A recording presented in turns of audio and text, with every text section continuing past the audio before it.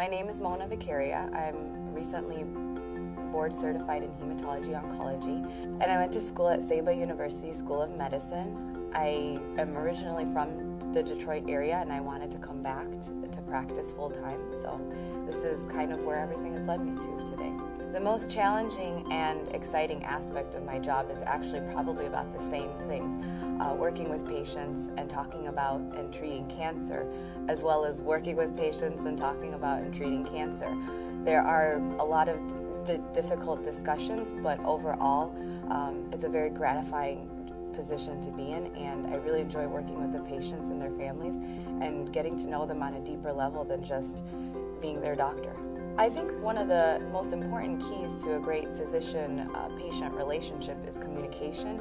Having that open communication background with the patients from the get go makes it a lot easier to help them, to move forward with them, and also to create that bond of what we're going to be doing together, as well as a lot of what they're going to have to do and what I'm going to have to do so we can work together for the best possible outcome.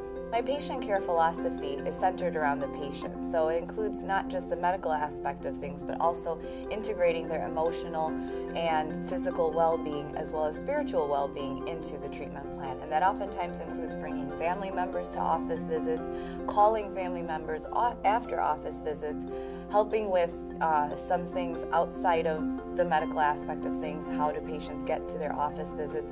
How are they handling their copays and their bills coming from the treatments?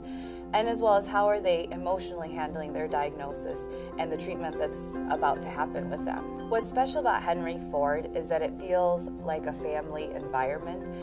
For a hospital to be known as something more than a hospital, there definitely has to be that history to back that up. And I think Henry Ford has that, which to me was the reason why I even came to Henry Ford at the beginning to do my residency and to continue to stay to work and to do my fellowship as well as to stay as a, a staff physician. I feel that this philosophy fits from both ends, from the physician end as well as from the patient end. It's a very friendly environment to work in as well as to be a patient in, and I think it projects that way from both angles.